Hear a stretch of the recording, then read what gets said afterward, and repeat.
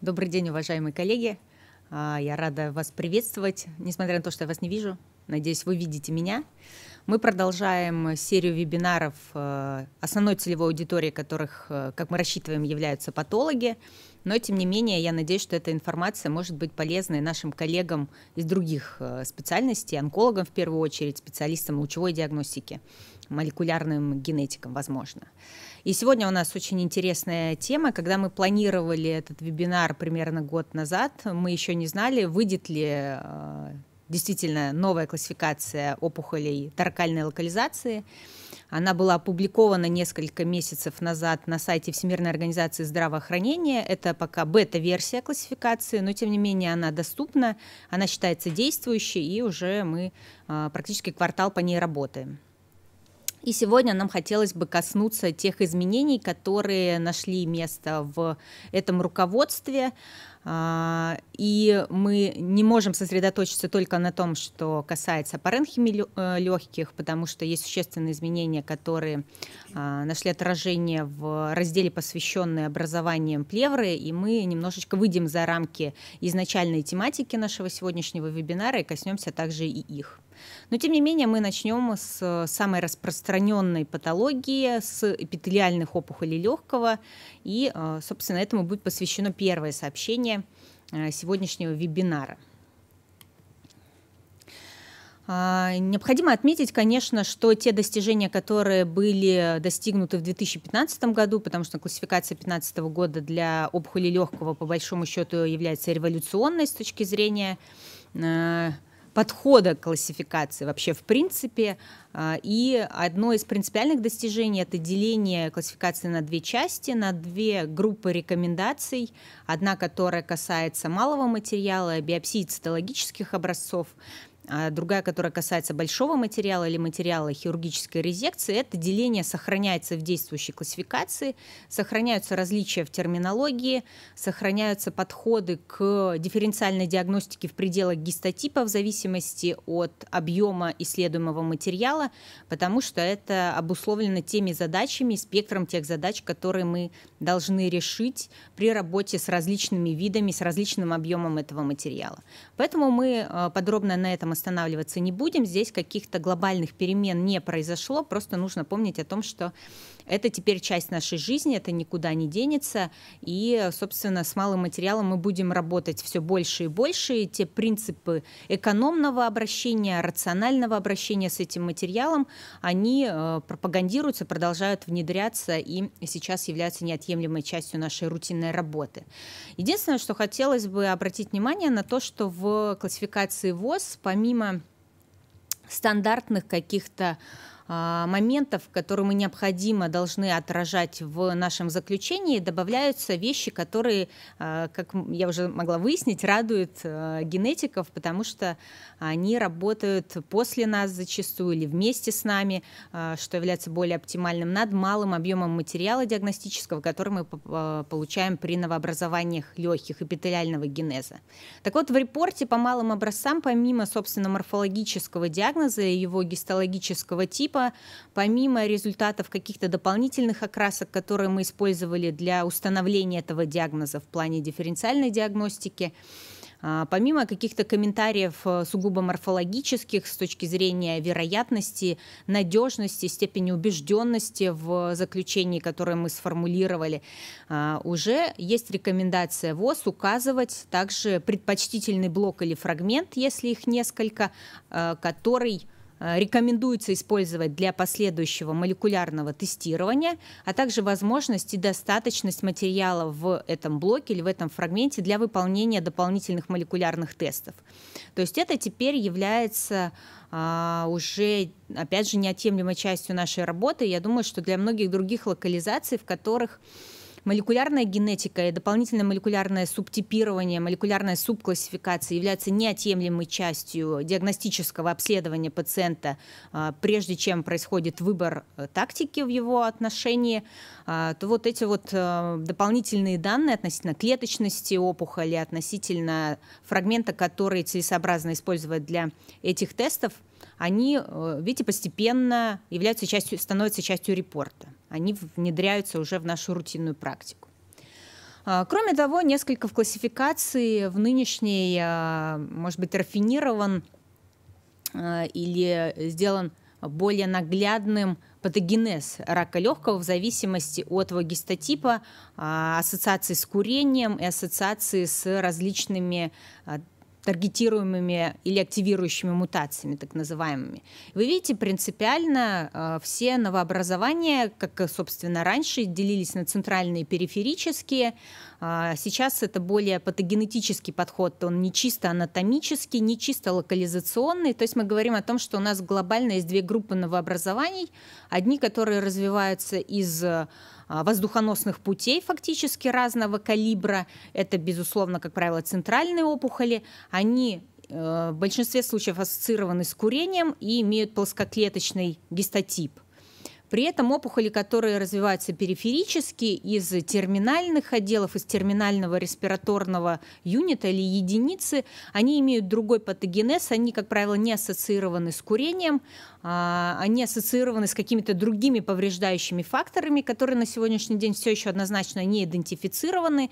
И эти факторы приводят к развитию и формированию активирующих мутаций. И мы имеем дело с аденокарциномами, с мутацией в генах EGFR, АЛК, РОС, БРАФ и так далее. Есть часть аденокарцином, ассоциированных с курением, которые часто ассоциированы с KRAS мутацией активирующими, но тем не менее это опухоли, которые так или иначе имеют более центральную локализацию. То есть таким образом а, представление о периферических и центральных образованиях представ... Э, имеет теперь а, довольно стройную патогенетическую основу и ассоциацию с гистологическим типом. А не просто это результат наблюдений. Если мы вернемся к гистологической части, то нам необходимо, конечно, сравнить классификации с точки зрения рубрификации в первую очередь. И классификация ВОЗ 2015 года начиналась, собственно, с аденогенных раков, вообще со злокачественных новообразований а, различного гистогенеза, часть из которых а, перегруппирована но глобальных изменений в этом отношении не произошло, и замыкали классификацию новообразования э, доброкачественные или неинвазивные. Нынешняя классификация построена в этом отношении, может быть, несколько более логично. Она начинается с доброкачественных образований прекурсоров э, аденокарцином, аденокарцином, прекурсоров плоскоклеточных раков, которые в данной классификации освещены гораздо более подробно и детально. А, и далее, собственно, различные морфологические варианты, также с учетом их группировки и э, молекулярного, в первую очередь, патогенеза. Если мы начнем с доброкачественных новообразований, то в папилломах изменений не произошло. Они как были представлены плоскоклеточными, э, гландулярными и смешанными, так, собственно, и остались. А вот среди аденом добавилась новая нозологическая единица, которая называется бронхиало-альвеолярная аденома или ресничатая муконодулярная папиллярная опухоль.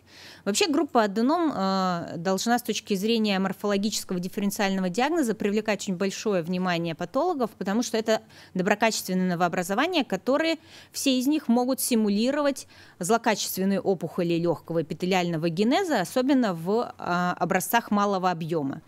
И здесь нам необходимо, конечно, учитывать и э, портрет пациента, клинико-эпидемиологическую характеристику. Нам необходимы данные о локализации образования и степени распространенности процесса в пределах таракальной локализации. Но если мы поговорим о бронхиолоальвеолярной аденоме, то это, как правило, образование, которое выявляется случайно, а, по данным компьютерной томографии может быть представлено участками по типу матового стекла, локализуется периферически, средние размеры это 5-15 мм, но может достигать 4,5 см. Как правило, это пожилые люди, либо люди взрослые, Средний возраст составляет 72 года. А, в а, этих аденомах чаще всего выявляется мутация в гене БРАФ, могут выявляться другие активирующие мутации, ассоциированные с аденокарциномами, что не является индикатором злокачественного характера процесса. И морфологически это опухоли доброкачественные, которые имеют бифазную презентацию и сохранный слой базальных клеток, которые могут быть идентифицированы при окраске на базальные или миоэпителиальные маркеры. Как правило, диффузно, экспрессивно э, окрашиваются P40 либо P63. А вот люминальная часть, люминальный эпителий может быть представлен э, разными типами. Это определяет морфологическую гетерогенность в пределах этой нозологической единицы. И э, по типу вот этой люминальной выстилки бронхиолярные аденомы могут быть подразделены на проксимальный и дистальный тип. Они несколько различаются по иммунопрофилю. Проксимальный тип, собственно, имеет выстилку, напоминающую бронхиальные эпители. Это ресничатые призматические клетки с разным количеством муцинозных клеток. И, как правило, имеется вариабельная экспрессия ТТФ1, либо он может быть негативен. А, образования дистального типа имеют люминальную выстилку, больше напоминающую альвеолярные эпителий или клетки Клара. Это кубические клетки которые, как правило, константно ТТФ1 позитивны. Но при этом э, не рекомендуется субклассификация в пределах нозологической единицы, то есть это информация, которая э, необходима морфологу для того, чтобы представлять спектр возможных морфологических проявлений и спектр возможного иммунофенотипа. Но нозологическая единица одна, и, безусловно, она должна э, попадать в дифференциально-диагностический ряд с аденокарциномой инситу, либо с атипической аденоматозной гиперплазией, но выявление слоя базальных клеток а, является а, достаточно простым, надежным критерием для того, чтобы установить этот диагноз. Что касается аденокарцином, то здесь глобальных изменений не произошло. Среди прекурсоров у нас также остается типическая аденоматозная гиперплазия и аденокарцинома инситу. Классификационные критерии не претерпели э, изменений. Что касается аденокарцином, то инвазивная немуцинозная аденокарцинома также с точки зрения нозологической классификации представлена уже известными нами нам пятью архитектурными паттернами, э, преобладание одного из которых, собственно, и э, является основанием, основанием для нозологической классификации немуцинозных аденокарцином. Однако мы немножко коснемся того, что на сегодняшний день в нашей профессиональной жизни здесь появляются ряд других паттернов, которые расцениваются как паттерны high-grade и учитываются в грейдинге аденокарцином.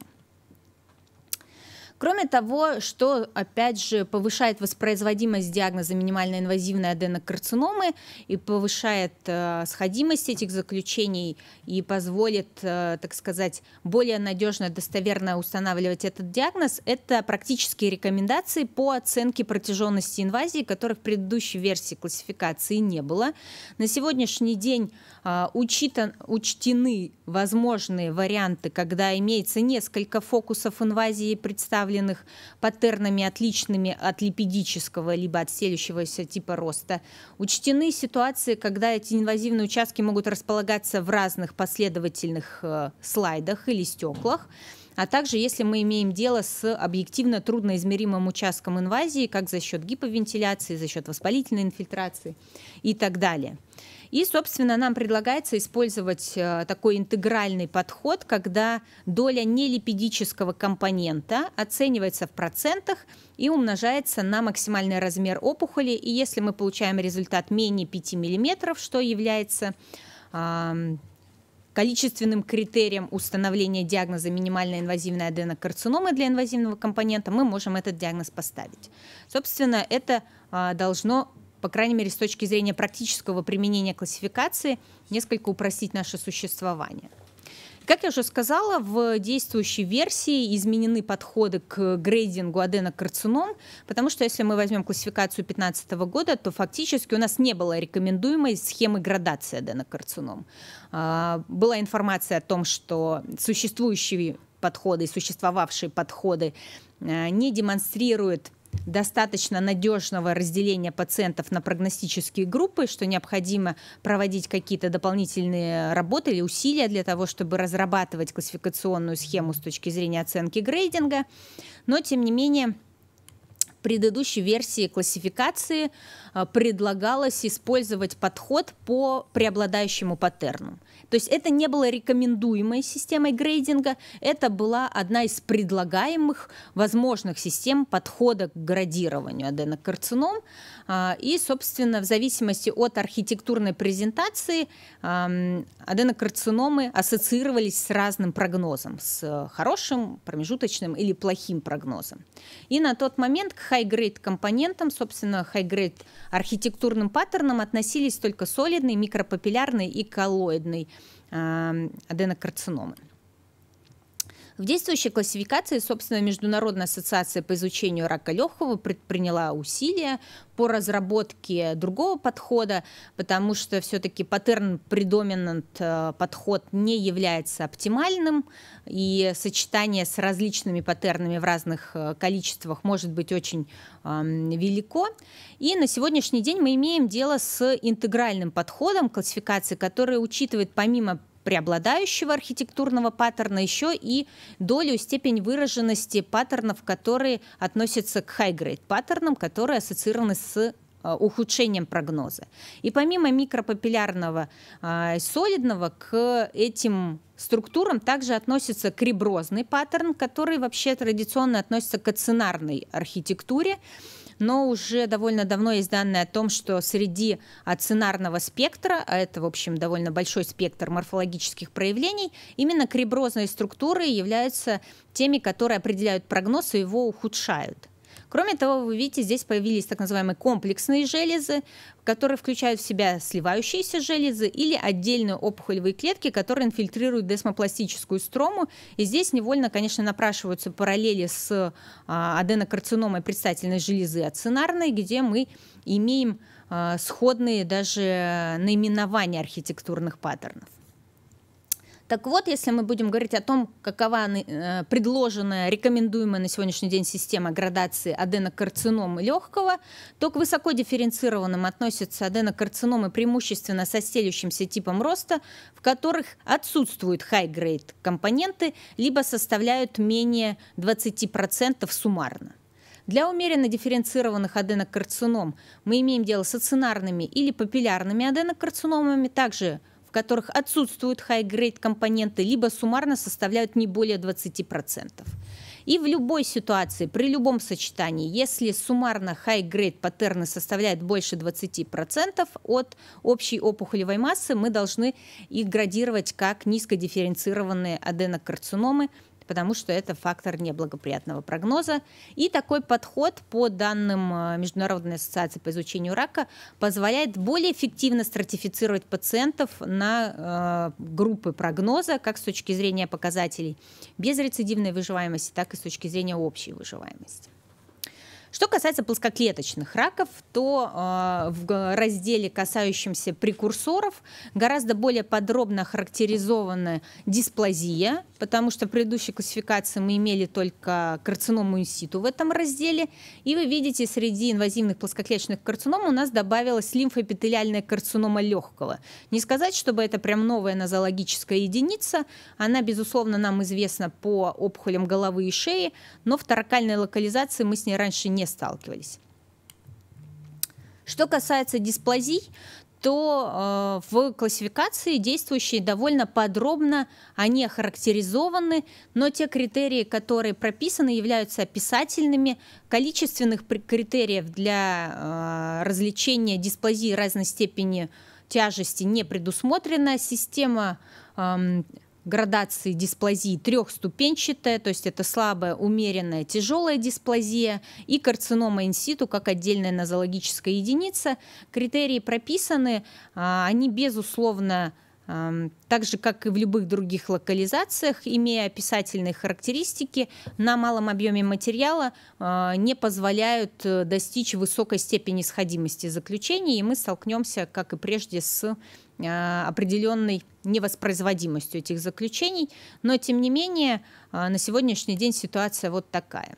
Что касается лимфоэпителиальной карциномы легкого, то это образование, как правило, а, которое может быть выявлено по данным лучевых методов исследования либо случайно, либо при наличии жалоб. Редко это может быть кровохарканье, это может быть болевой синдром. Образование локализуется периферически, а, по литературным данным на сегодняшний день составляет менее 1% немелкоклеточных карцином легкого. Это относительно молодые пациенты, молодые пациенты из среднего возраста. И вы видите, это карцином ассоциирован с Эпштейн-Бар вирусом, как и, собственно, лимфоэпителиальные карциномы головы и шеи. И это определяет ту популяцию пациентов, у которых они выявляются чаще. И э, гораздо чаще это, собственно, опухоли, которые выявляются у пациентов из азиатского региона, чем из западноевропейских стран.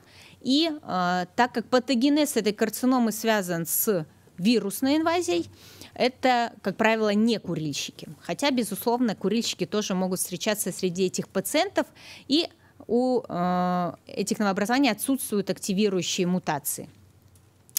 Опухоль, собственно, морфологически характеризуется теми же чертами, что лимфоэпителиальный карцином и других локализаций. Это неороговевающий плоскоклеточный рак, низкодифференцированный, с разной степенью выраженности лимфоплазмоцитарной инфильтрации стромы.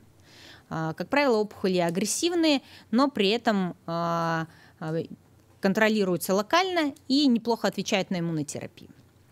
И что, опять же, радует в действующей классификации, то здесь прямо однозначно прописано, как необходимо подходить к грейдингу плоскоклеточного рака. А, ответ простой – никак. На сегодняшний день системы градации плоскоклеточного рака для легкого не существует. То есть нет рекомендуемого грейдинга ни двухступенчатого, ни трехступенчатого.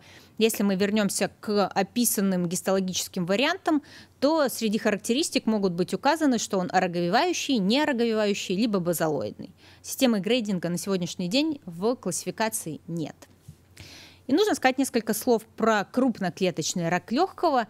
А, с точки зрения классификационных критериев здесь э, больших изменений нет. Единственное, что необходимо отметить, то, что а, если мы возьмем статистические данные по выявлению этой нозологической формы, то за последние 10 лет э, частота его встречаемости с 10% упала до 1,5%. Это не значит, что крупноклеточного рака легкого стало меньше. Это просто э, говорит о том, что действующие классификационные критерии, широкое внедрение и использование дополнительных методов, в первую очередь иммуногистохимии в плане установления гистотипа при карциномах легкого, позволило исключить из этой группы а, низкодифференцированные, как аденокарциномы, так и низкодифференцированные плоскоклеточные раки, которые могли сюда попадать. А, то есть это до сих пор диагноз исключения, который устанавливается в ситуациях, когда мы имеем низкодифференцированную, фактически недифференцированную или дедифференцированную карциному, не имеющую ни морфологических, ни фенотипических признаков ни плоскоклеточной, ни аденогенной, ни нейроэндокринной дифференцировки. То есть тогда мы можем установить этот диагноз. Вы видите, есть опять же рекомендуемые а, формулировки заключений в классификации ВОЗ, в зависимости от того, мы имеем дело с а, биопсийным материалом или материалом резекций. На малом материале эта нозологическая единица не может быть установлена в принципе по определению. Это диагноз материала резекции, большого материала, который должен быть подвергнут дополнительным окраскам для исключения тех или иных признаков дифференцировки. Есть количественные критерии с точки зрения того, а, что считать диффузной и фокальной окраской. А, если у нас неоднозначный иммунопрофиль, то мы можем установить диагноз крупноклеточной карциномы с неоднозначным иммунофенотипом.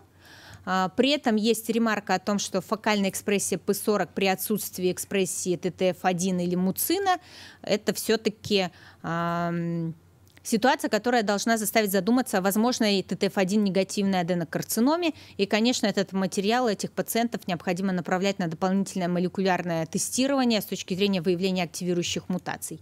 Если же мы имеем негативный, дважды негативный фенотип, тогда мы можем установить диагноз крупноклеточной карциномы с нулевым фенотипом.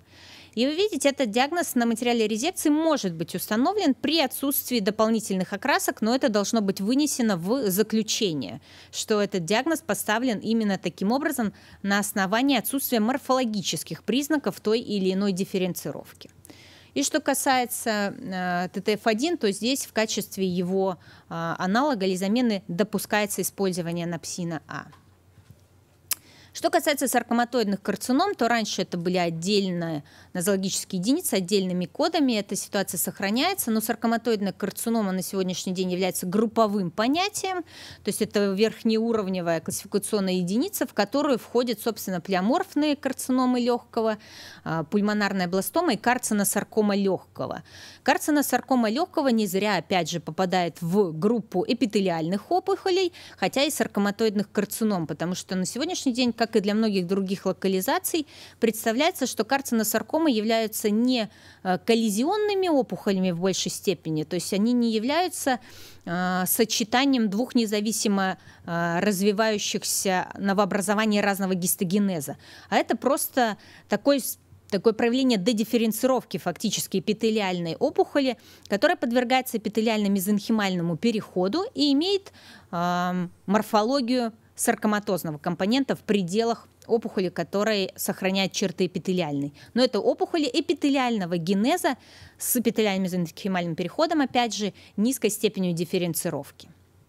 А, количественный критерий сохраняется, то есть этот диагноз может быть установлен, опять же, только на материале резекций, если плеоморфный компонент, гигантоклеточный или веретиноклеточный компонент составляет более 10% от всей массы опухоли. А, на материале а, биопсий, на малом материале этот диагноз может быть заподозрен, но не может быть дефинитивно установлен в силу количественного классификационного критерия. Кроме того, есть группа другие эпителиальные опухоли, где сохраняется, как и прежде, карцинома НАТ. А, она, э, собственно, обозначается карцинома легкого или грудной клетки, потому что НАТ-карцинома, она же карцинома средней линии или мидлайн карцинома, встречается, опять же, в головошейной локализации. И э, вторая по частоте, или первая даже по частоте, это таракальная локализация, но, как правило, это вовлечение средостения исходя из ее, так сказать, синонима или определения, так как это карцинома средней линии. Но в силу того, что это довольно агрессивное новообразование, оно очень быстро вовлекает соседние структуры. В большинстве случаев мы так или иначе имеем вовлечение и ткани легкого тоже при а, новообразованиях такого гистогенеза. Это, собственно, опухоль, которая характеризуется мутацией в соответствующем гене НАТ. А, и связано это с транслокацией 15-19 и ассоциировано с экспрессией белка НАТ, что может быть э, выявлено при помощи иммуногистохимии. Морфология, собственно, этих опухолей – это опухоли, которые имеют плоскоклеточный генез – и а, об этом нужно помнить. То есть надкарцинома так или иначе она может терять экспрессию цитокератинов, но она сохраняет а, признаки плоскоклеточного гистогенеза, то есть в большинстве случаев экспрессирует P40 или хотя бы P63. При отсутствии э, экспрессии этих маркеров это должен быть вопрос, ставит ли этот диагноз.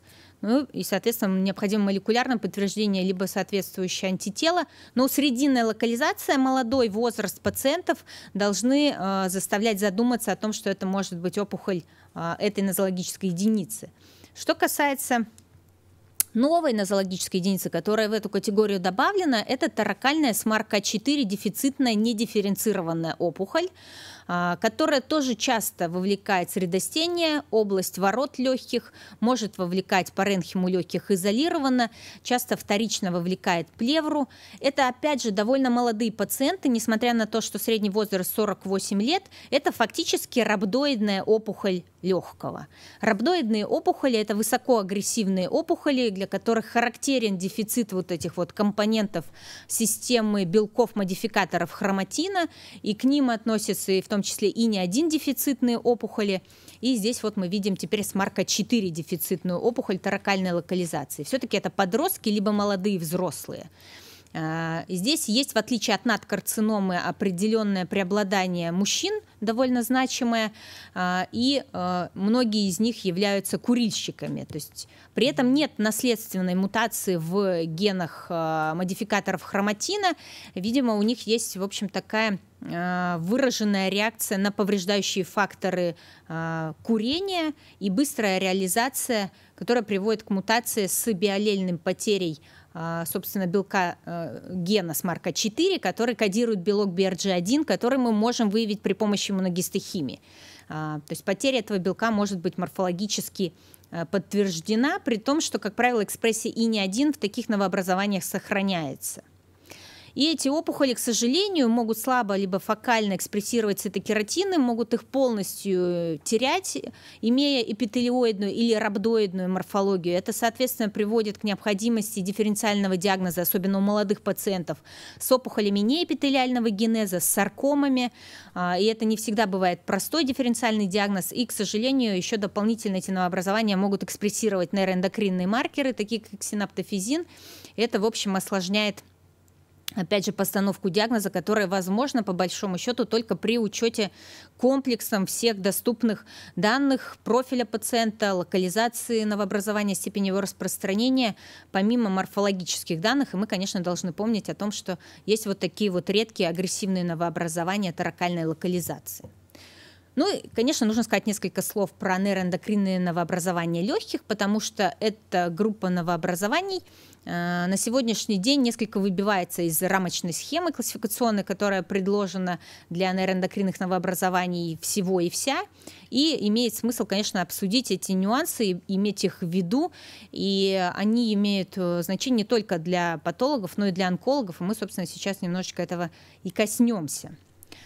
А, сохраняется двухступенчатая система грейдинга высокодифференцированных нейроэндокринных новообразований легкого или нейроэндокринных опухолей. У нас есть типичный карциноид и атипичный карциноид. Почему у типичного карциноида есть а, а, размерный классификационный критерий в 5 миллиметров? Это связано с тем, что а, диффузная идиопатическая пульмонарная гиперплазия нейроэндокринных клеток может давать узелковые образования или опухольки нейроэндокринные, которые имеют размер менее 5 мм. И если образование вот этот порог превышает, тогда мы должны назвать его уже типичным карциноидом. И при этом э, мы с вами должны обратить внимание на то, что классификационным критерием в плане дифференциального диагноза высоко дифференцированных нейроэндокринных опухолей легкого между собой и высоко дифференцированных нейроэндокринных опухолей с низкодифференцированными нейроэндокринными карциномами является метатическая активность, а не индекс пролиферативной активности э, при помощи Ки-67 оцененный. То есть основным классификационным критерием является количество метозов на 2 мм квадратных, не на 10 полей зрения, а на фиксированную единицу площади в э, элемент единицах Си выраженную. Отсутствие некрозов. То есть это второй признак. У нас есть два классификационных признака. Это метатическая активность и наличие и степень выраженности некроза. А, Ки-67 имеет второстепенное значение. Мы немножко сейчас этого коснемся. Собственно, есть определенная Э, клинико-морфологическая ассоциация. Карциноиды чаще развиваются у женщин, э, нейроэндокринные карциномы чаще встречаются у мужчин.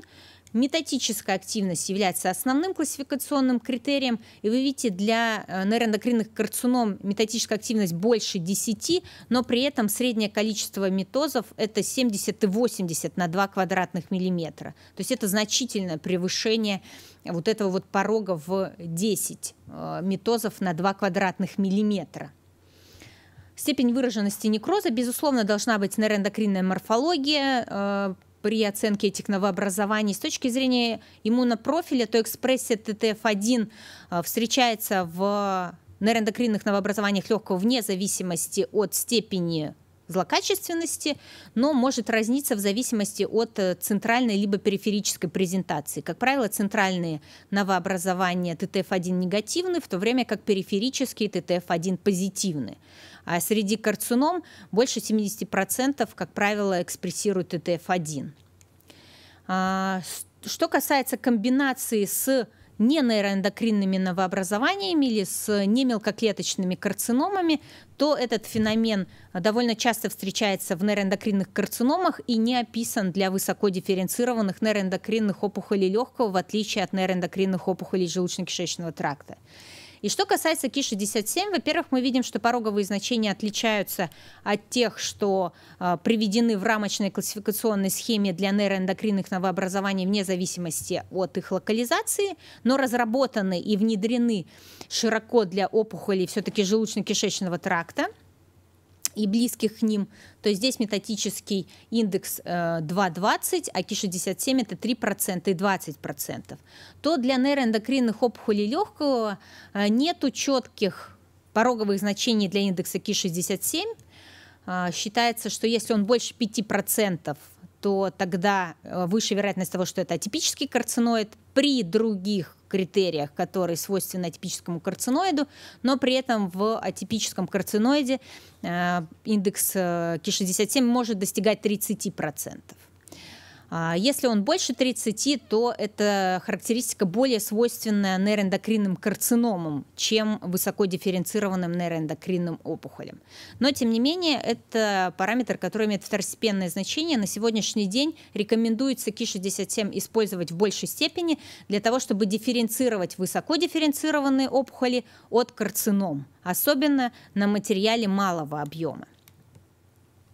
Кроме того, в классификации не вынесена как провизорная единица, но вынесена как один из вариантов э, высокодифференцированных нейроэндокринных новообразований. Это карциноидная опухоль с повышенным метатическим индексом или повышенным пролиферативным индексом по данным Ки-67.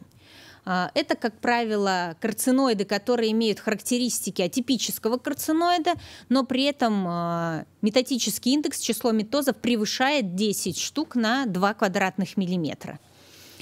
Кроме того, при этом Ки-67 может быть больше 30%, как, собственно, мы ожидаем в атипическом карциноиде увидеть. Но при этом это опухоли, которые могут иметь архитектурные признаки высокой степени дифференцировки, они отсутствуют, э, у них отсутствует потеря белка или гена RB1, отсутствует мутация в генах P53, низкий э, уровень мутационной нагрузки, и это, в общем, характеристики молекулярные, свойственны именно высоко дифференцированным нейроэндокринным опухолям в противовес нейроэндокринным карциномам. Поэтому обсуждается, собственно, вопрос уже э, довольно какое-то время продолжительное, отнести ли эти новообразования к категории нейроэндокринных опухолей G3, собственно, как мы имеем в классификационной схеме для желудочно-кишечного тракта, когда у нас трехступенчатая система градации высокодифференцированных э, новообразований, но на сегодняшний день в действующей классификации э, это не принято. Есть вот такая вот полупровизорная единица, как карциноид с повышенной метатической или пролиферативной активностью.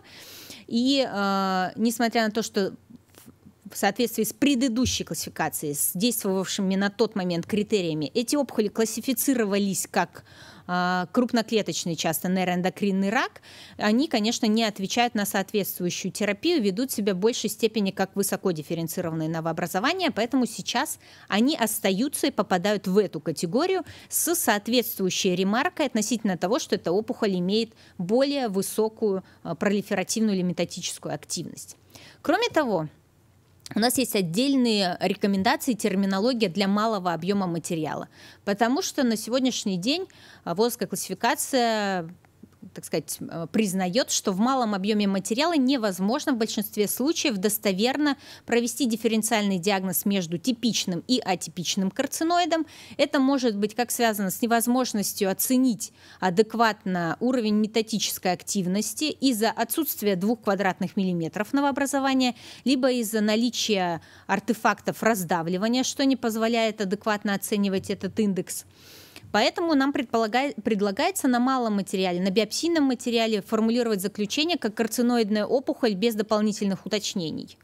А, при наличии признаков атипического карциноида, то есть каких-то различимых фигур метоза, а, при невозможности в том числе адекватно подсчитать их на необходимую площадь. При наличии фокусов некроза эти признаки могут быть и должны быть указаны в комментариях, потому что могут быть индикатором э, того, что это атипический карциноид, это может определенным э, образом модифицировать, в первую очередь, хирургическую тактику в отношении этих новообразований.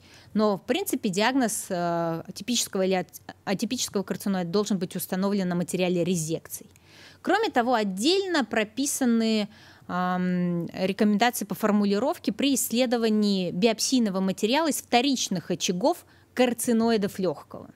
То есть, когда мы предполагаем, что это метастаз карциноида легкого, потому что если мы имеем дело с метастазами нейроэндокринной опухоли из невыявленного первичного очага, то мы должны пользоваться с вами рекомендациями, которые а, предлагаются рамочные классификационной схемы, схемы для нейроэндокринных новообразований вне зависимости от локализации. Мы, безусловно, должны предпринять усилия с точки зрения а, возможного иммунофенотипирования для уточнения возможного потенциального первичного источника, но это не всегда увенчивается успехом.